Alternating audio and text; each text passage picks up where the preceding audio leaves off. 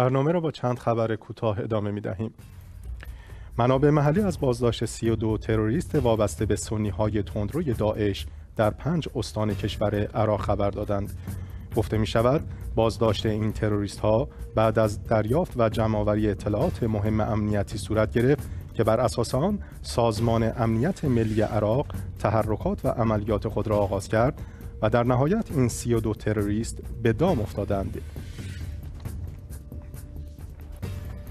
متولی شرعی آستان مقدس امام حسین علیه السلام از تأسیس مؤسسه مطالعات و تحقیقات ام ابیها مخصوص تحقیق درباره سیره، زندگی و شخصیت حضرت فاطمه زهرا سلام الله علیها خبر داد.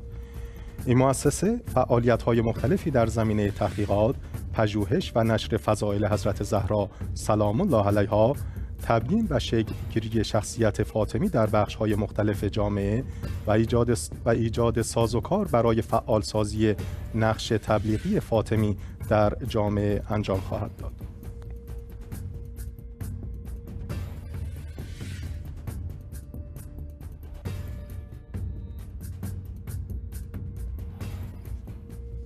اداره کل مهاجرت ترکیه شب گذشته شنبه اعلام کرد که این کشور 2321 مهاجر را در هفته جاری اخراج کرده است. به گفته آنان در این میان 101 نفر آن شهروندان افغانستان، 107 نفر شهروندان پاکستان و مابقی اتباع کشورهای دیگر بودند.